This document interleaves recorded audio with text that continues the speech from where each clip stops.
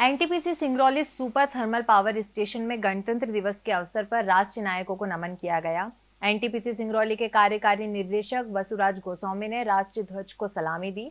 इस मौके पर सीआईएसएफ जवानों ने मनमोहक परेड की प्रस्तुति दी। NTPC Singrauli super thermal power station Shaktinagar Sonbhadra में गणतंत्र दिवस समारोह का भव्य आयोजन किया गया। कार्यक्रम के मुख्य अतिथि एनटीपीसी सिंगरौली के कार्यकारी निदेशक बासुराज गोस्वामी ने ध्वज फहराया एवं राष्ट्रीय ध्वज को सलामी दी। इसके उपरांत मुख्य अतिथि द्वारा परेड का निरीक्षण किया गया, जिसमें परिसर स्थित विद्यालय के बच्चे सम्मिलित हुए एवं सभी ने सीआईएसएफ जवानों के साथ कदम ताल कर मनमोहक परेड की प्रस्तुति दी। परियोजना प्रमुख वासुराज गोस्वामी ने राष्ट्र को नमन करते हुए देश की आज़ादी में राष्ट्र के नायकों के अतुलनीय योगदान से प्रेरणा ग्रहण करते हुए उपस्थित जनों से आग्रह किया कि वे राष्ट्र निर्माण में अपना महत्वपूर्ण योगदान प्रदान करें।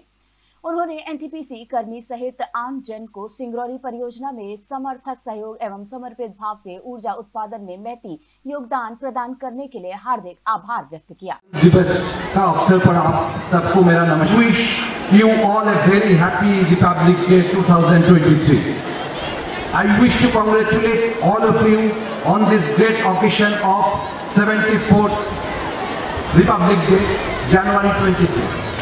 It carries a great significance for our country. We celebrate this every year to remember the day when the Constitution of India came into effect after India gained independence. This day reminds us of our freedom struggle and how the great freedom fighter of our country sacrificed their life to get us the Purn Swaraj. Regarding NTPC performance, our great organization NTPC has also played a pivotal role in nation's development. Our NTPC as on today has got an installed capacity of 71,544 starting this journey of generation in 1982 from Singrauli, the mother plant. मुख्य अतिथि गोस्वामी ने राष्ट्रीय पर्व की महत्ता को रेखांकित किया और एनटीपीसी की उपलब्धियों से सभी उपस्थित जनों को अवगत कराया। Bal Bhavan tiny tot school doctor Ambedkar school Vivekananda school और सेंट जोसेफ के बच्चों द्वारा मनमोहक सांस्कृतिक कार्यक्रम की प्रस्तुति दी गई एवं सीआईएसएफ जवानों द्वारा सुरक्षा संबंधी विभिन्न उत्कृष्ट प्रदर्शन से उपस्थित जनों का दिल जीत लिया।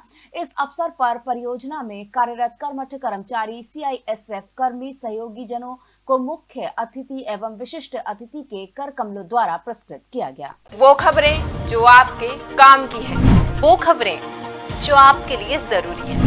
हर आम और खास से जुड़े मसले। हर मसले का सटीक विश्लेषण। हम करते हैं सत्य का अन्वेषण। दखल न्यूज़। आपके हक में। आप देख रहे हैं दखल न्यूज़।